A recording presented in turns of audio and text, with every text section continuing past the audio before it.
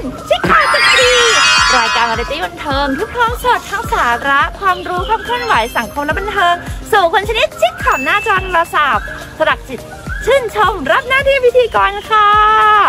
เราเพิ่งผ่านเทศกาลวาเลนไทน์เทศกาลแห่งความรักกันมาหมาดเป็นยังไงกันบ้างนะคะทุกคนหวังว่าจะอบอุ่นตลบอบอวนไปด้วยความรักนะคะ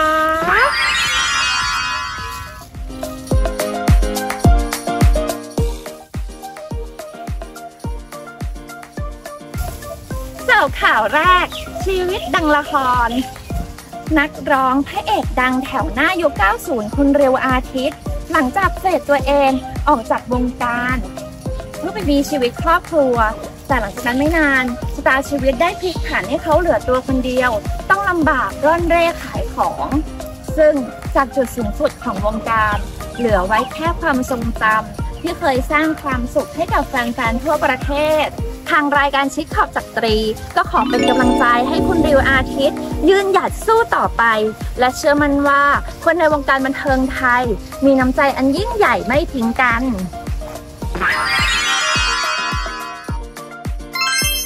แรงสุดฉุดไม่อยู่ลิซ่าแบล็คพิงวงเคป๊อปชั้นนำของโลก ล่าสุดยังคงแรงฉุดไม่อยู่ ได้ร่วมงานกับแบรนด์ชั้นนำของโลกที่ลีน ตามด้วยทุบทำลายสถิติโลกถึง 5 รายการ จนกินเสร็จบุ๊กต้องบันทึกไว้ในด้านเป็นศิลปินเพลงเดี่ยวนะคะลาลิสาที่ประสบความสำเร็จอย่างรวดเร็วสูงสุดในโลก เป็นศิลปินที่ไม่ลืมสายเลือดไทย เป็นคนที่คนไทยภาคภูมิใจในตัวเธอ ตายทั้งเป็นสกิดจันประยูน โปรดิวเซอร์และนักร้องที่มีดีกรีผลงานเบื้องหลัง ผลงานเพลงต่างๆ มากมาย ทั้งเพลงประกอบรายการโทรทัศน์ และละครภาพยนตร์ซึ่งล่าสุดได้ออกผลงานเพลงซิงเกิลตายทั้งเป็น ก็ไม่รู้ไม่รู้ฉันผิด อะไรตรงไหนทำไมทำร้ายกัน พอได้ไหมอย่าให้ฉันต้องตายทั้งเป็น หากอยากรู้ว่าความหมายของตายทั้งเป็น หมายถึงอะไร จะสื่อออกมาในมุมมองมิติอย่างไร อย่าพลาดนะคะ สามารถติดตามได้ทางช่อง YouTube ค่ะ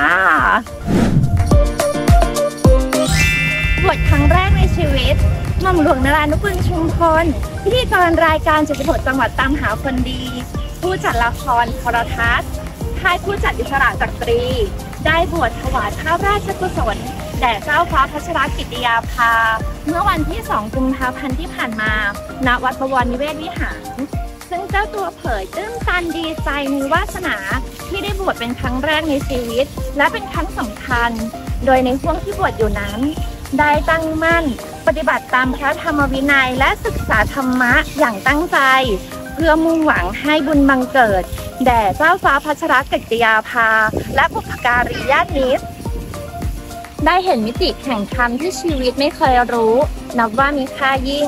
ทางรายการเช็คขอบจักรี ก็ขอร่วมอนุโมทนาบุญสาธุการ สาธุสาธุสาธุด้วยค่ะ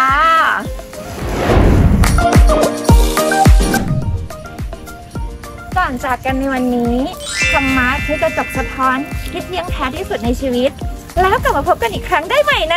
เช็คข่าวจากตรี รายการวาไรตี้บันเทิงที่พร้อมเสิร์ฟคุณชนิดเช็คข่าวหน้าจอโทรศัพท์สำหรับวันนี้ สวัสดีค่ะ